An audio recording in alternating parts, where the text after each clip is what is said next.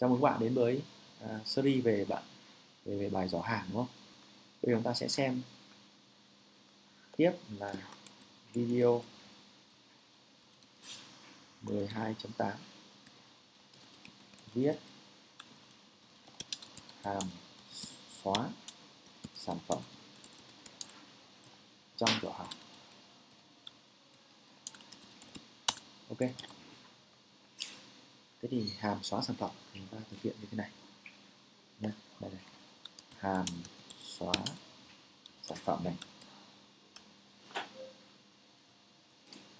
Rồi, chúng ta ghi là public boolean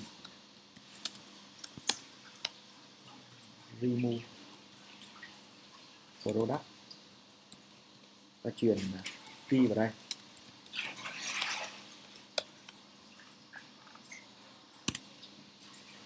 Rồi, giờ ta kiểm tra là nếu như đã tồn tại key như trên rồi đúng không? If zip chấm content code, đúng không? Nếu tồn tại thì ta xóa đi thôi, đúng không? Zip chấm remove.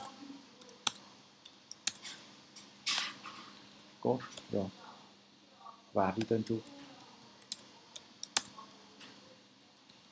còn nếu không tồn tại thì sao? Return false đúng không?